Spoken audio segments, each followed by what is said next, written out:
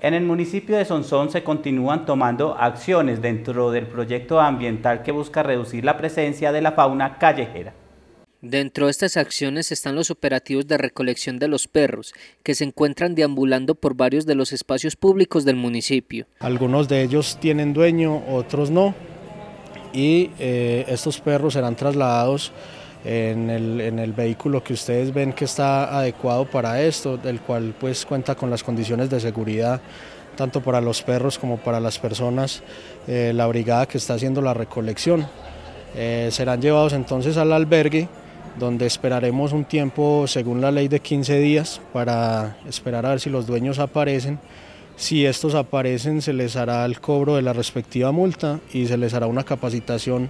por parte de la Policía Ambiental en el nuevo Código de Policía que prohíbe que los perros deambulen por las calles a su libre albedrío. En el caso de que no aparezcan los propietarios, pues los perros son puestos a disposición de, del municipio y lo que se hace es realizar la esterilización para ponerlos en el programa de adopción donde se le buscarán unas familias responsables que los puedan tener. Es responsabilidad de cada dueño del animal porque si uno va a tener un animal no es para largarlo para la calle, porque ellos en la calle de por sí corren mucho peligro, un carro que los aporree, una moto, y aquí para nosotros es un perjuicio muy grande por nuestra labor y que de todas maneras, pues los animalitos de verdad que en esta, en esta parte no deben de estar. Que nos hagamos responsables y seamos conscientes que esos animalitos sufren mucho cuando están en la calle, se ven expuestos a muchas cosas y no solo ellos, sino que también los ciudadanos nos hemos expuesto a que nos muerdan, a que no se metan en la vía, nos hagan accidentar. Seguimos con el flagelo de los municipios aledaños que siguen trayéndonos los perritos y soltándolos a las calles de Sonsón, ya que lo que son los municipios cercanos, eh, pues ninguno cuenta con albergue, eh, la mayoría no cuentan con médico veterinario ni con recursos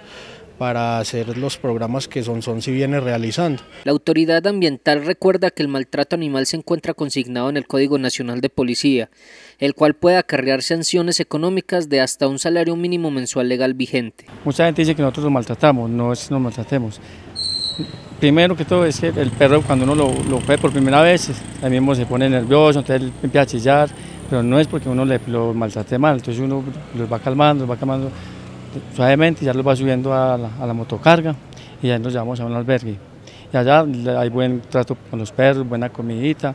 lo cual por acá en las calles solamente la gente los, chuta con el pie, los pisan los carros y por ejemplo hay que tener mucho cuidado con, con, los niños porque ya han habido varios niños para ir mordidos los perros y ahí sí no, el propietario ahí sí no resulta, pero cuando uno lo, está cogiendo, ahí sí ellos salen, que mi perro, que mi perro, que vea, que por qué lo van a llevar, pero cuando muerde una persona, ahí sí no, no se hacen actos de los, de los daños, ahí no hay quien pague nada, entonces por eso hacemos más que todo esto también. Existir como mucho, mucho, por ejemplo, la castración de las hembras para que no se reproduzcan tanto.